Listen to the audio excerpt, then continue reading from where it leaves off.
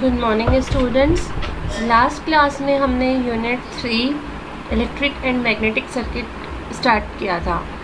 इसमें हमने 3.1 पढ़ा था पोटेंशियल डिफरेंस क्या होता है वोल्टेज क्या होता है, और इन दोनों में क्या क्या डिफरेंसेस हैं, ये हमने पढ़ा था।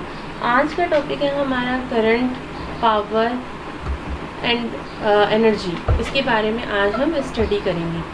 तो देखिए, सबसे पहले हम स्टार्ट करते हैं करंट के बारे में। करंट मतलब इलेक्ट्रिक करंट इलेक्ट्रिक करंट क्या होती है? चार्जेस का फ्लो एक जगह से दूसरी जगह पर। मतलब एक जगह से दूसरी जगह में जो चार्जेस फ्लो हो रहे हैं, उस अमाउंट को हम कहते हैं इलेक्ट्रिक करंट और इसकी यूनिट जो होती है, वो एम्पियर में मेज़र की जाती है। एम्पियर एक एम्पियर का मतलब होता है एक गुलाम पर सेकेंड मतलब हम जो कह रहे हैं चार्जेस का फ्लो तो जो रेट है चार्जेस की चार्जेस क्या होते हैं आपके गुलाम में राइट और जो टाइम है वो सेकंड में हो गया तो चार्जेस का जो फ्लो है, उसे हम कहते हैं इलेक्ट्रिक करंट अब यहाँ पे हम जैसे बोल रहे हैं कि इलेक्ट्रिक करंट जो है फ्लो चार्जेस का फ्लो है. तो हम ये भी कह सकते हैं कि electric current is the flow of electron electron का फ्लो भी है. तो इलेक्ट्रॉन्स यहाँ फ्लो हो रहे हैं. दैट मीन्स जो चार्जेस हैं वो मोशन में है. स्टैटिक नहीं है. मतलब रुके हुए नहीं है मोशन में है. तो इसे हम इलेक्ट्रिक करंट को ये नहीं कह सकते कि ये स्टैटिक इलेक्ट्रिसिटी होती है. ये क्या होती है? मूविंग इलेक्ट्रिसिटी यहाँ पे आप देख सकते हैं कि इलेक्ट्रॉन जैसे मूव करें निगेटिव से पॉजिटिव की तरफ़. दो तरह के चार्जेस होते हैं. एक नेगेटिव चार्ज और एक पॉजिटिव चार्ज तो इलेक्ट्रॉन का जो फ्लो हो रहा है फ्रॉम नेगेटिव टू पॉजिटिव यहाँ पे हम देख सकते हैं तो ये एक स्टैटिक इलेक्ट्रिसिटी नहीं है, ये एक मूविंग इलेक्ट्रिसिटी है। अब करंट की बात करें तो करंट देखो दो तरह की हो गई डायरेक्ट करंट जिसे हम डीसी करंट कहते हैं और एक होती है अल्टरनेटिव करंट जिसे एसी करंट कहते हैं। डायरेक्ट करंट का मतलब होता है कि जो इलेक्ट्रॉन्स का फ्लो है, सिर्फ़ एक ही डायरेक्शन में हो। मतलब इलेक्ट्रॉन का डायरेक्शन जैसे नेगेटिव से पॉजिटिव एक ही डायरेक्शन में चल रही है। जैसे बैटरी हो गई फ्लैश लाइट बैटरीज हो गई फोटोवोल्टिक सेल्स हो गए इनमें। और जो अल्टरनेटिव करंट होती है ना उसमें क्या होता है कि जो इलेक्ट्रॉन का फ्लो है वो मतलब जो चार्जेस का फ्लो है वो दोनों डायरेक्शन में है। हो सकता है। जैसे आ, जैसे जनरेटर का एग्जांपल लें हम तो नॉर्थ टू साउथ पोल हो रहे हैं कभी कभी south to north pole current flow हो रही है। तो ये मतलब दोनों डायरेक्शन में जब करंट का फ्लो हो रहा हो, उसे हम कहते हैं अल्टरनेटिंग करंट राइट और डायरेक्ट करंट मतलब एक ही डायरेक्शन में करंट फ्लो हो रही हो। मतलब जो अल्टरनेटिंग करंट है ना, वो टाइम के साथ साथ डायरेक्शन भी चेंज हो रही है मैग्नीट्यूड भी चेंज हो रहा है। और डायरेक्ट करंट जो है, वो टाइम के साथ फिक्स है।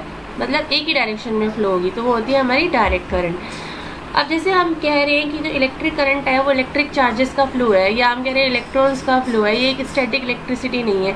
तो यहाँ पे हम आई बराबर से क्या लिख सकते हैं? क्यू अपॉन टी क्योंकि अभी हमने बताया कि जैसे आई का मतलब क्या होता है, इसको मेजर किसमें किया जाता है? एम्पियर में। और एक एम्पियर क्या होता है? एक गुलाम पर सेकेंड तो यहाँ पे गुलाम को यहाँ पे क्या है? ये चार्जेस है, और टी का क्या है यहाँ पे? टाइम तो ये एक तरह से एक स्केलर क्वांटिटी है राइट और इसकी जो एस आई यूनिट्स होती है, यहाँ पे हम जो इक्वेशन है आई बराबर क्यू बाई टी इससे हम लिख सकते हैं कि इसकी जो यूनिट है गुलाम पर सेकेंड होगी, या फिर हम इसे एम्पियर भी कह सकते हैं। तो एक एम्पियर का मतलब क्या हो गया? एक गुलाम पर सेकेंड और इलेक्ट्रिक करंट को जिस डिवाइस से मेज़र किया जाता है, उसे एमीटर कहते हैं। और ये जो करंट फ्लो हो रही है ना, वो इलेक्ट्रॉन का जो फ्लो हो उस डायरेक्शन के अपोजिट होती है। मतलब जैसे इलेक्ट्रॉन का फ्लो रहा है नेगेटिव टू पॉजिटिव तो करंट का फ्लो होता है पॉजिटिव टू नेगेटिव जैसे पॉजिटिव चार्जेस से नेगेटिव चार्जेस में करंट का फ्लो होगा और इलेक्ट्रॉन का फ्लो कहाँ होगा? नेगेटिव चार्जेस से पॉजिटिव चार्जेस में राइट तो ये होती है हमारी इलेक्ट्रिक करंट अब यहाँ पे आप ये एक सर्किट में भी देख सकते हैं कि एक बैटरी लग रही है, एक बल्ब लग रहा है हमारे.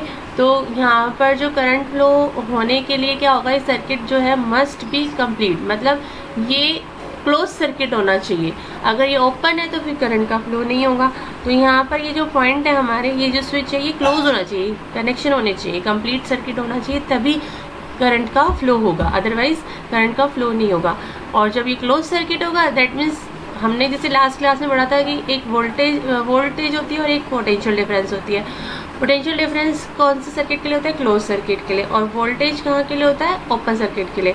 तो करंट के फ्लो होने के लिए क्या ज़रूरी है? क्लोज सर्किट मतलब कंप्लीट सर्किट होना चाहिए क्लोज मीन्स वहाँ पर क्या होता है? पोटेंशियल डिफरेंस तो करंट कहाँ फ्लो होगी? जहाँ पे पोटेंशियल डिफरेंस होगा। राइट जब ये कंडीशंस दोनों हम्म, मिल जाए मतलब सर्किट का मतलब कंप्लीट सर्किट होना चाहिए क्लोज सर्किट होना चाहिए पोटेंशियल डिफरेंस होना चाहिए तो फिर इलेक्ट्रॉन का मूवमेंट होता है। मीन्स तब हमारी करंट फ्लो होगी राइट यहाँ पर जैसे अब आप देख सकते हो कि सर्किट क्लोज हो गया तो अब यहाँ पे क्या है, ये बैटरी का टर्मिनल है पॉजिटिव तो करंट तो फ्लो हो गया हमारी plus positive to negative right और इलेक्ट्रॉन का फ्लो कहाँ से हो रहा है, ये नेगेटिव से पॉजिटिव की तरफ़। तो इस तरह से कि हमने इलेक्ट्रिक करंट के बारे में पढ़ा। तो इलेक्ट्रिक करंट में एक बार वापस रिवाइज कर देती हूँ आपको इलेक्ट्रिक करंट क्या होती है? चार्जेस का जो फ्लो है, वो कहलाती है हमारे इलेक्ट्रिक करंट या फिर दूसरे शब्दों में इलेक्ट्रॉन्स का फ्लो और इसकी जो डायरेक्शन होती है इलेक्ट्रिक करंट की, वो अपोजिट होती है इलेक्ट्रॉन से। जैसे इलेक्ट्रॉन्स का फ्लो होगा नेगेटिव टू पॉजिटिव तो चार्जेस हाँ और करंट का फ्लो कहाँ से होगा? पॉजिटिव टू नेगेटिव क्लियर और दो तरह की पढ़ी हमने डायरेक्ट करंट और अल्टरनेटिंग करंट डायरेक्ट मतलब डीसी करंट और अल्टरनेटिंग मतलब एसी करंट और इसके लिए करंट का आ, क्या ज़रूरी है? सर्किट क्लोज होना चाहिए और there must be a potential difference right तो ये थी हमारी करंट और करंट एक स्केलर क्वांटिटी है इसे किससे मेजर किया जाता है? एम्पियर में। और जिस डिवाइस से मेजर किया जाता है वो कौन सी होती है? एमीटर। क्लियर तो अब हम नेक्स्ट टॉपिक पढ़ रहे हैं वर्क के बारे में। क्योंकि अभी हम पावर और एनर्जी के बारे में पढ़ेंगे तो उसमें पहले हमें वर्क पता होना चाहिए कि वर्क क्या होता है राइट तो वर्क जो होता है मतलब काम करना work is defined as a product of net force acting on a body and the distance move in the direction of force means क्या हुआ आपका कि वर्क जो होता है, वो फोर्स जैसे कोई ऑब्जेक्ट है, उसके ऊपर हम एक फोर्स लगा रहे हैं तो जो नेट फोर्स लगा रहे हैं, वो और इनटू में, जिस डायरेक्शन में फोर्स लग रहा है ना, वो डिस्टेंस कितनी है राइट तो डिस्टेंस इनटू फोर्स वो कहलाता है हमारा वर्क और इसकी जो यूनिट्स है, वो होती है जूल में। क्योंकि यहाँ पे क्या हो गया, एक जूल क्या हो गया फोर्स को किसमें मेजर करते हैं हम? न्यूटन में। और डिस्टेंस है अगर मीटर में या सेकेंड मतलब सेंटीमीटर में, उस हिसाब से। तो वन न्यूटन मीटर कितने के इक्वल हो गया? एक जूल के। तो अगर न्यूटन को फोर्स को हम किलोग्राम मीटर भी लिख सकते हैं किलोग्राम मीटर पर सेकेंड राइट तो फिर क्या हो जाएगी? इसकी यूनिट हो जाएगी किलोग्राम मीटर स्क्वायर और सेकेंड स्क्वायर ठीक है? तो वाक क्या हो गया हमारा? फोर्स इंटू डिस्टेंस अब नेक्स्ट हम पढ़ रहे हैं पावर पावर क्या होगी? जिस मतलब जो वर्क है, उसका क्या रेट है? मतलब जिस रेट पे वर्क किया जा रहा है। Power is the rate at which work is done right तो इसमें हम लिख सकते हैं पावर बराबर से वर्क डिवाइडेड बाय टाइम तो वर्क क्या था हमारा? जैसे जूल में था, है ना? जूल में हम क्या जैसे अभी हमने पढ़ा सॉरी एक सेकेंड।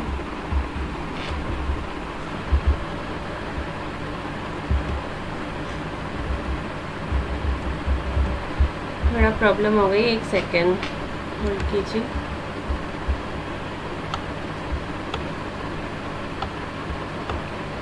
हाँ हमने अभी क्या बात करी थी, जैसे हम इसकी बात कर रहे थे वर्क वर्क क्या था? फोर्स इनटू डिस्टेंस मतलब जूल का मतलब कहता है न्यूटन मीटर। अब हम बात कर पावर की। तो पावर क्या है हमारे यहाँ पे? Work in, work divided by time ठीक है? तो वर्क क्या है हमारा? फोर्स इंटू डिस्टेंस है। तो हम यहाँ पे लिख सकते हैं P बराबर से डब्ल्यू अपॉन टी और डब्ल्यू क्या है? एफ़ डी तो F D divided by T ये लिख सकते हैं। नेक्स्ट टॉपिक है हमारा एनर्जी एनर्जी का मतलब क्या होता है? Ability to do the work मतलब किसी काम को करने की एबिलिटी उसे क्या कहते हैं हम? एनर्जी राइट वर्क क्या था हमारा? F into D force into distance फिर पावर क्या थी हमारी?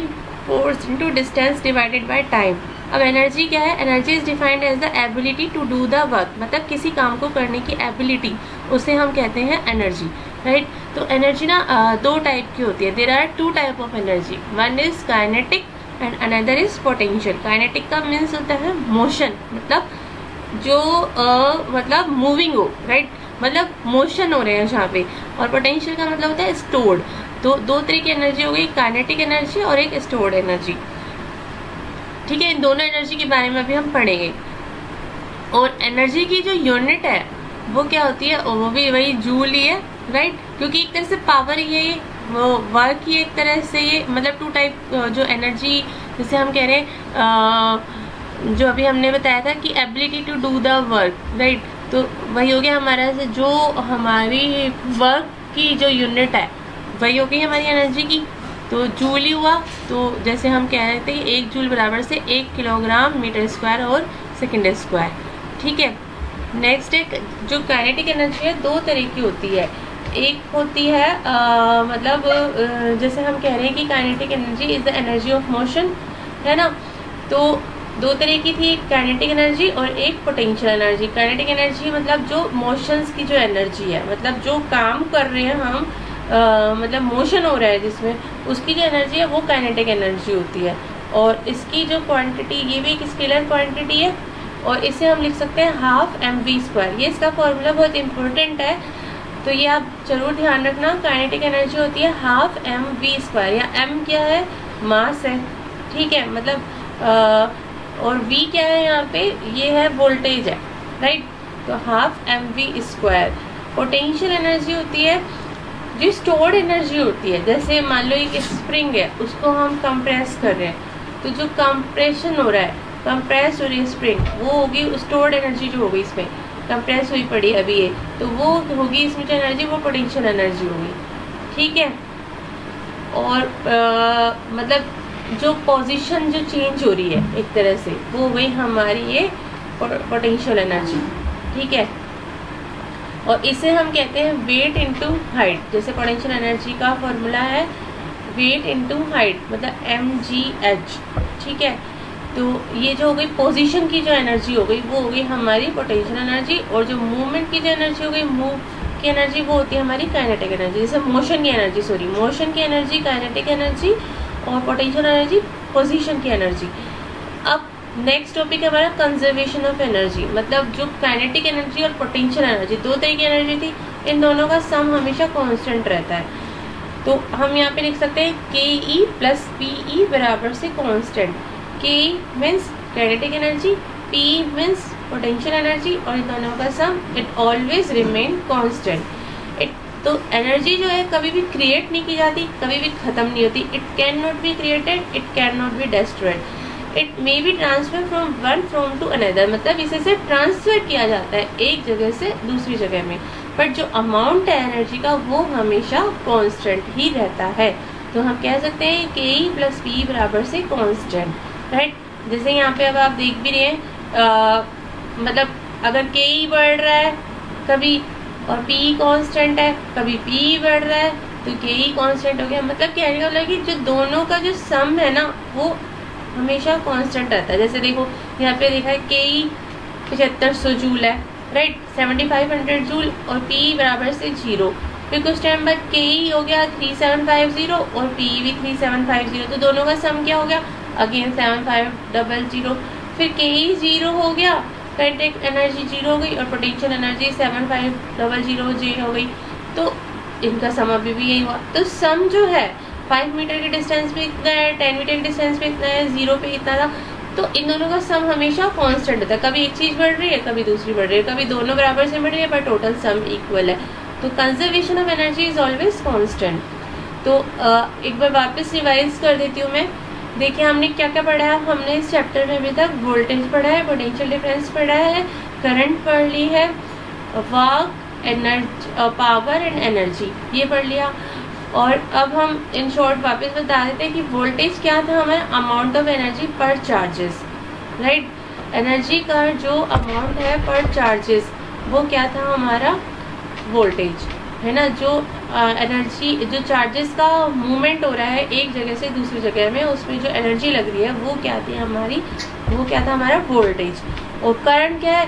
चार्जेस का फ्लो है रेट ऑफ़ चार्जेस फ्लो तो जिसे हम कहते हैं एम्पियर मतलब क्यू अपॉन टी और अब नेक्स्ट टॉपिक हम जो पढ़ेंगे नेक्स्ट क्लास में, वो होगा रेजिस्टेंस रेजिस्टेंस की डेफिनेशन मैं आपको बता देती हूँ, पर इसको हम डीप में नेक्स्ट क्लास में पढ़ेंगे.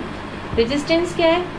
करंट का जो अपोजिशन है मतलब करंट को फ्लो होने को अपोज करना, ये जो करेक्टरिस्टिक है, ये कहलाती है हमारी रेजिस्टेंस मतलब करंट के फ्लो होने को अपोज करना. तो opposition of current that is resistance और इसे मेज़र किया जाता है ओम में, और ये इसका सिंबल है, इस तरह से ये जो बना हुआ है. अब हम इसके जो नेक्स्ट क्लास में पढ़ेंगे कि कोई सर्किट है, उसमें रेजिस्टेंस कैसे कॉम्बिनेशन में लगा होता है सीरीज़ में या पैरेलल में? तो वो क्या सर्किट्स होते हैं, कैसे उनको सॉल्व किया जाता है, ये हम नेक्स्ट क्लास में पढ़ेंगे। Thank you